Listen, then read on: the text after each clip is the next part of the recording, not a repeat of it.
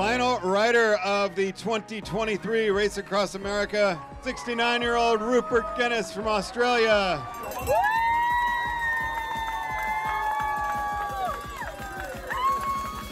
Four year project finally come to fruition with my finish in RAAM. It's just in, I'm, I'm, I'm in a state of shock and mixed relief as well because of the journey I had from last year with a really disappointing DNF. No way you talk about it is it, it, it hurt a lot and um, but I wanted to show what I learned from last year's disappointment and put into practice and had a fabulous crew and crew chief Gary Hamer and they managed to help me get to where I am now on the finish line of RAAM in Annapolis.